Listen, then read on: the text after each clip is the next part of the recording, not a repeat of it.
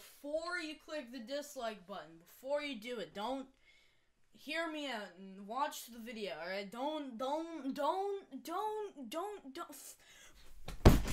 Okay, what I was trying to say is you can dislike all you want, just give me interaction and push me out to more people, please. But at least watch the video first, or even after. Because I do want to say that I'm not going to be talking about, like, the stuff that is obviously bad that Synni has done. I'm not going to talk about the birdie stuff, etc., etc. Because that's just, like, obviously bad, and I don't need to explain that it's bad. But in this video, I'm going to be going over some of the things that Synnibear03 has been called out on that I find are pretty stupid. Now, you may be thinking, what is a Synnibear03? And I honestly wouldn't blame you, but Synni Synni Cindy Bear is a pretty large creator in the community, you know, artist and all of that. But if you recognize the avatar and do not recognize the name, that's likely because you remember Scootaloo Loves Sans, their former name. You know, like the same face syndrome drama and all that. And I don't even know why I'm explaining who she is to you. You know, you know who she is. That's why most of you clicked on the thumbnail because you saw her in the. Th- I'm I'm why? And now that I've given you the basic rundown about who she is, I think I should just tell you about what's actually happening in the drama. Holy. Like how I walk? Do you like how I talk? Do you like how my face disintegrates? I have a wonderful wife, I have a powerful job. She criticizes me for being egocentric. Now, around the range of three months ago, Synnibear had released a video called We Need to Talk, where she would say that she would address all the negative things and problems that people have with her in one big video. So she asked them to leave it in the comments or even make their own video on it. Now, the community responded with a bunch of things that they have issues with, some that I won't be mentioning in this video because, again, like I said at the start of the video, they're obviously bad. But some of these arguments that the community brought up were actually kind of stupid in my opinion, and other people's opinions that I may or may not have taken a bit of inspiration from. I'm looking at you, Gator. But without further ado, I might as well get into these dumb points.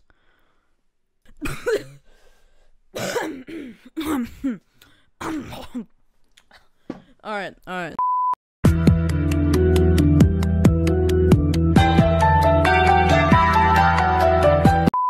Start off with the first claim that I believe is the most stupid. People are trying to make the point that Synni is romanticizing abuse by in a self by self inserting herself in a relationship with Nightmare Sans and Sans, and that's romanticizing abuse apparently. Now I just like to point out, I I really just like to point out it's fucking Undertale Sans. I don't understand how people take self-insert shipping so seriously. And I went searching far and wide. It's Pokemon to understand. Sorry, I had the I had to do that. But I went searching far and wide throughout almost all the Nightmare Sans AU self-insert relationship posts that I couldn't find a single one that mentions abuse or has abuse in the storyline or even in the panel. There was no abuse whatsoever that I could find. Now, the person that I took inspiration from on making this video named Gator Collector Collection. Their video was amazing. I'll link it in the description. But they actually gave the benefit of the doubt to the people that were claiming that Synni was romanticizing abuse and chose two of them that could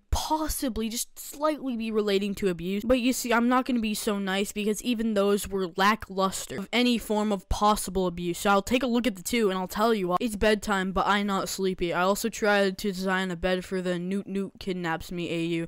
I really need a shorter name for the AU. Anyway, here you go. Throws the art at you. I don't even need to say much about this. He, he what? Oh, the horrors. Look at all the abuse happening in this panel. Since that one was full of a lot of stupid claims, I'll just check the other one. Wanted to draw Newtmare being scary because I haven't drawn him in a while. Again, I just don't see it, man. It's that wholesome. It's, it's just wholesome. I want you to tell me where the problem is here. There are certain moments when you could tell a piece is serious or there was some goofy sort of intention behind it. When you look at this, look at Synni's face in the photo. Do you really believe that's the face of complete terror and shock?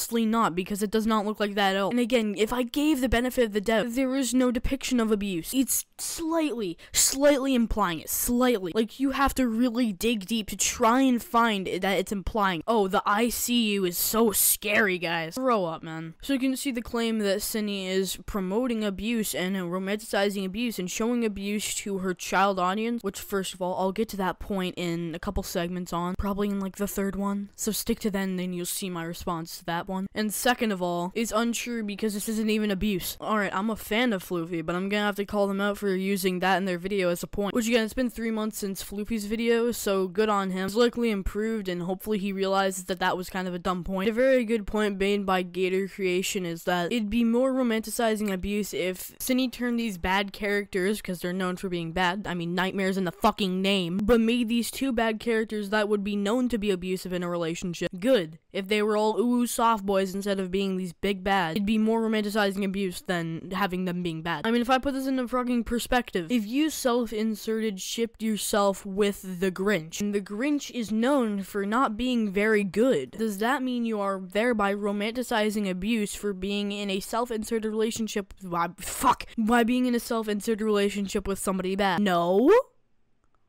Really? So for the conclusion of this segment, no one's romanticizing abuse. Y'all are just fucking dumb. Oh my god, lawnmower, shut up.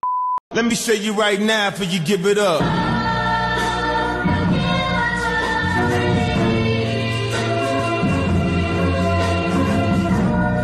Now let's get into the supporting pedophilia claims. Woo! Now you may already be thinking, um, Salty, are you fucking high? I don't think anyone make the claim about pedophilia. Nobody would do. Well, yeah, shut up. They did. So, Synni had made a character by the name of Scootaloo, whose age was 13 years old, and then she self-insured. She self-insert shipped herself with Sans the skeleton. People are calling that supporting pedophilia, and I just like to say she made the character when she was 13 and didn't bother to change it. I really don't understand where the supporting pedophilia came from. But you're supporting pedophilia because you made a character when you were 13 and you're made their age 13 so it can be more relatable and more of the self part when you self insert ship yourself with another character. Fucking idiots.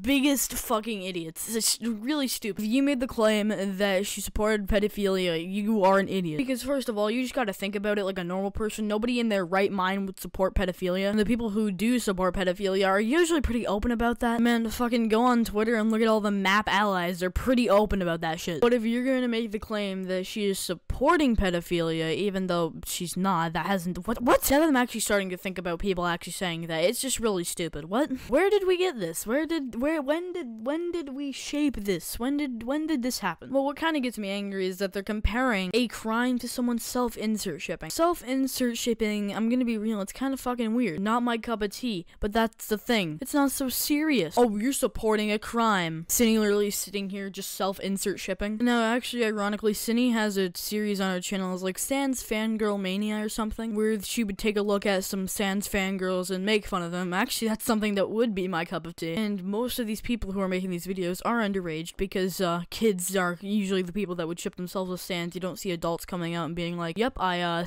I ship myself with Sans, and I'm gonna make a YouTube video saying that Sans is mine and nobody else can have them." But majority of these people who are self-insert shipping themselves with Sans from Undertale are children. So why aren't we calling out them for supporting pedophilia? Because because they're children?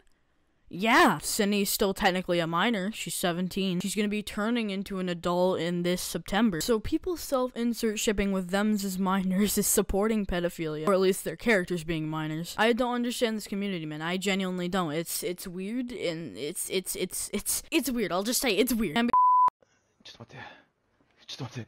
BBC가. One, two, three, four five, six, seven, eight. One, two, three, four, five, six, seven, eight. One, two, three, four, five, six, seven, eight. One, two, three, four, five, six, seven, eight. One, two.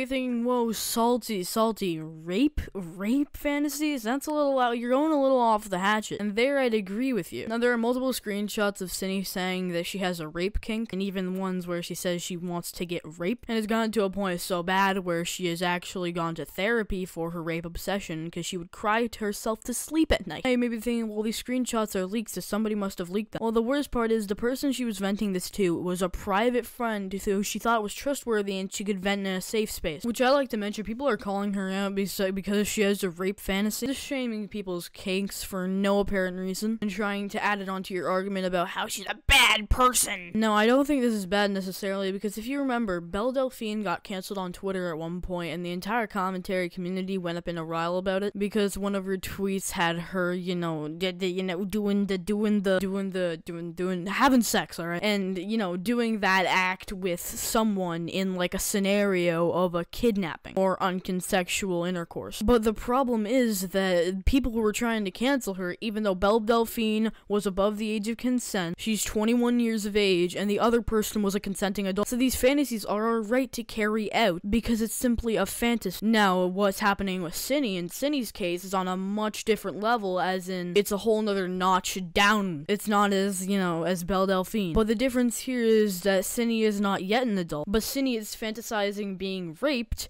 by a fictional character. And the fact is that this fantasy isn't uncommon in people. So people are trying to shame her for having a fetish that she's already trying to work out with a therapist. Now, I want to go back to the one thing I said during the first segment of this video, where I talked about people saying, "Oh, well, you're showing you're showing rape and abuse to your underage fan." Well, I'd like to whip that back around right now. So, what I just want to point out for my final point in this video is that this was in a private conversation. Her rape fantasies were in a private conversation. Never has she ever mentioned it publicly. I want to express that, and I want to express that there was no abuse left in the relationship between her and Nightmare Sans. That there's no abuse there. So the fact is, the people that are talking about this and saying that she has this rape fantasy and saying that there's abuse inside the relationship are really the people who are showing abuse and rape to underage fans. The fuck are they fighting for? They're going against their own goddamn points. In conclusion, the situation is very reminiscent of the Sashley situation, finding out from someone's kinks from a private conversation with a private DM with a safe space friend and shaming them for their kinks. Oh, and also calling them a bad person, all that, yada yada yada. But man, I'm really tired. Uh, um, I'm I'm probably gonna edit this and then have a nap. But this has been the end of the video. If you don't mind hitting the like and subscribe button, it motivates me to make more content just like this. And we're also nearing 300 subs, so if you could just hit that subscribe button, then we'll make it to a new milestone. Thank you for watching and good day.